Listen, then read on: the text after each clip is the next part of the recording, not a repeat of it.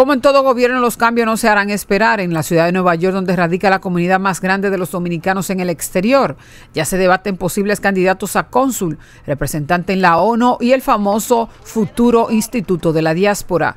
A mi entender, el cónsul de los dominicanos aquí en el estado y ciudad de Nueva York debe ser una persona que tenga un trabajo hecho en la comunidad, que le dé servicio a la comunidad y que se preocupe por la suerte de todos nosotros acá. Porque yo prefiero que sea una mujer y quisiera que fuera Carmen Dín.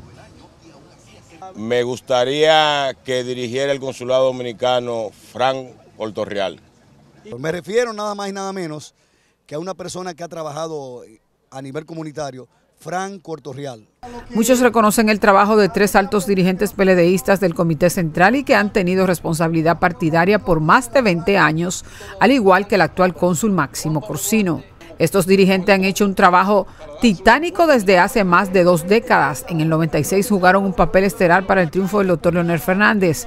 En el 2000 fueron la base de la acción del PLD. En el 2004 fueron parte del equipo de campaña y en el 2008 también.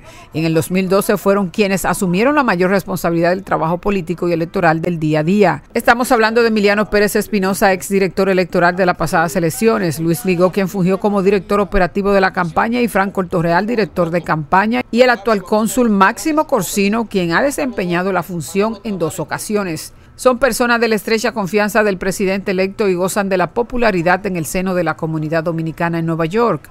En la ciudad de Nueva York, Mayra La Paz, Super Noticias.